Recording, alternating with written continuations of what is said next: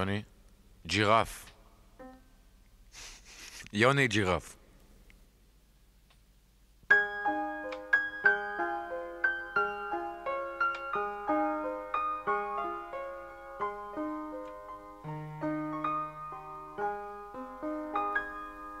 לג'ירף יש צוואר ארוך.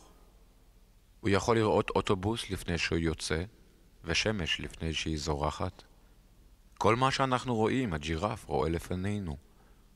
יש לו גם על הפנים מין הבעה, כמה יפה להיות חיה גבוהה.